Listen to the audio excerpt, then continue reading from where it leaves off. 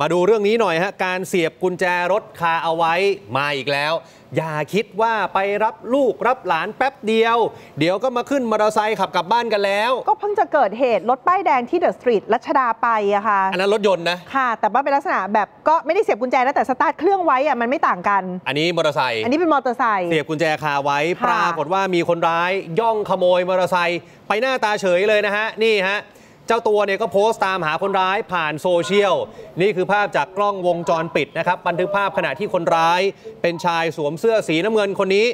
สวมถุงมือสีแดง ขี่มอเตอร์ไซค์ของตัวเอง ผ่านประตูโรงเรียนแห่งหนึ่ง ก่อนจะไปจอดเทียบกับรถผู้เสียหายที่จอดอยู่หน้าโรงเรียน จากนั้นคนร้ายครับใช้โอกาสที่ผู้เสียหายเผลอ เพราะว่าผู้เสียหายเนี่ยไปรอรับหลานที่หน้าประตูโรงเรียน คนร้ายขี่มอเตอร์ไซค์ฮอนด้าคลิกสีดำแดง ทะเบียน 2 กไก่ทอผู้เท่า 5471 จังหวัดขอนแก่น ของผู้เสียหายขี่ออกไปหน้าตาเฉยเลยฮะ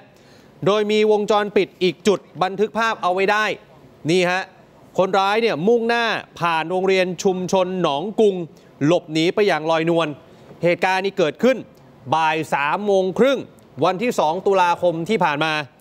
ต่อมาครับผู้เสียหายแจ้งให้ลูกสาวทราบเรื่อง ลูกสาวก็เลยเอาเรื่องราวต่างๆ ไปโพสต์ลงใน Facebook กลุ่มต่างๆ เพื่อช่วยให้ติดตามหาเบาะแสแต่ปรากฏค่ะเจอมิดโอ้โห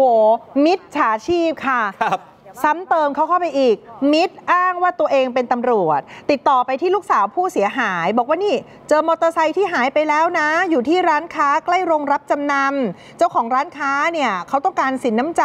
500 บาท ลูกสาวก็โอนไปให้นะคะ จากนั้นยังมีการโทรศัพท์มาขอค่าน้ำมันในการเอารถมาส่งคืนอีก 200 บาท และให้ไปรับรถที่สพน้ำพองนะคะ แต่พอไปถึงอะค่ะ ทราบจากตำรวจตัวจริงว่าเขายังหารถไม่เจอเลย และตำรวจแจ้งด้วยนะตำรวจเนี่ยเขาจะไม่มีการเรียกรับสินน้ำใจให้ใคร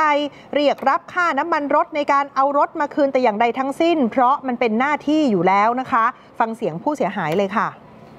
แล้วมันก็โทรไปหาลูกสาว ที่กรุงเทพมันบอกว่าเจอรถแล้ว แต่ว่าผู้ก่อเหตุน่ะเอาไปลงรับจำนำผมตามเจอแล้วแล้วก็คุณจะให้ ค่าน้ำใจสีน้ำใจอะไรทางร้านไหมลูกก็โอนไปห้าร้อยอีกพักหนึ่งมันโทรไป ลูกก็บอกว่ารถอยู่ไหน ขอดูรถหน่อย มันบอกว่าผมต้องเอารถขึ้นรถไป ขอค่าน้ำมันอีกสองร้อยถ้าได้สองร้อยนี้แล้วน่ะ จะให้เห็นรถไหมครับ จะให้เห็นรถเลย ก็โอนไป แล้วทีนี้มันก็เงียบไปเลย มันก็ปิดเสียงเราเลย แล้วตอนเช้าก็เนี่ยมาซ้ำเติมเขา เออ แต่ทีนี้พอผู้เสียหายรู้นะว่ามิจฉาชีพมาหลอกลวงแบบนี้ เขาก็มีหลักฐานไม่ว่าจะเป็นเบอร์โทรศัพท์ที่ใช้ติดต่อกันนะคะ สลิปโอนเงินนะว่าโอนเงินเนี่ยไปเข้าบัญชีใครยังไง ก็นำไปแจ้งความที่สพน้ำพองแล้ว เพื่อให้ตำรวจติดตามตัวคนร้ายที่ขโมยรถ และคนร้ายที่มาอ้างตัวเป็นตำรวจหลอกโอนเงินซ้ำนะคะ เพราะเชื่อว่าเผลอๆนะ ทั้งสองคดีเนี้ยคนร้ายอาจจะเป็นขบวนการเดียวกันทั้งหมดเลยก็ได้ค่ะ ครับอืมอะ เดี๋ยวรอติดตามก็เป็นอุทาหรณ์อีกครั้งหนึ่งนะฮะว่าอย่าไปเสียบกุญแจมอเตอร์ไซค์คาไว้แบบนี้ใช่ค่ะนะคนร้ายเนี่ยเราไม่รู้เลยนะฮะว่าจะมาเมื่อไหร่ ดูคลิปจบแล้วอย่าลืมกดไลค์กดแชร์กด subscribe นะครับ และที่สำคัญครับอย่าลืมกดกระดิ่ง จะได้ไม่พลาดทุกข่าวสำคัญกับสำนักข่าว One News เชื่อมั่นในข่าวมั่นใจ One News ครับ